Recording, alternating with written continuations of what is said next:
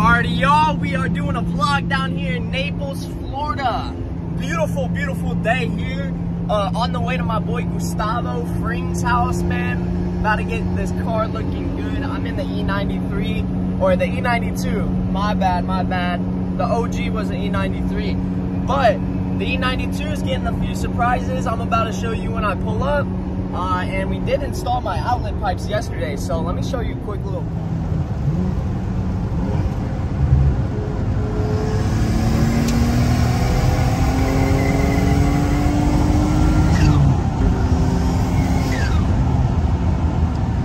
moving. But we're on the way to Gus's. About to show you what I'm doing in the car. Oh my God, it's about to be a beast. And then we're gonna probably go out and hang out with some friends tonight um, after I go to my girls for some dinner.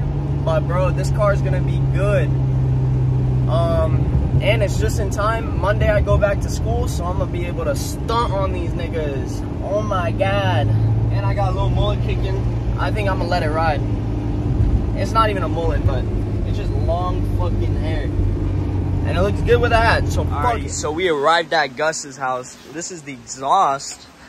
Finna be putting this on the E92 as well as these BC racing coils. Yeah, no more getting pulled over. We put fucking license plate lights, fixed the headlights, put the outlet pipes on last night, and then we were in some fucking shit last night. Way too many cops.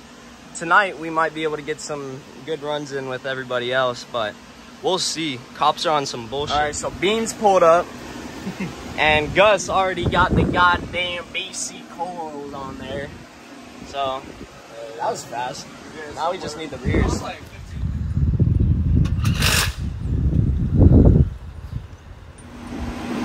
Oh shit.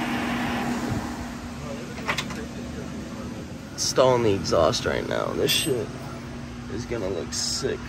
The final countdown. The car is almost done, y'all. Gus has been at it all fucking day. Doing a bunch of shit. Not only this car, but a bunch of other shit. Shout out to Gus. Always been the man. But this bitch is gonna look so fire, bro. Oh my god, bro. Then I got the clean ass fucking shit. Oh my god. Oh man. oh shit.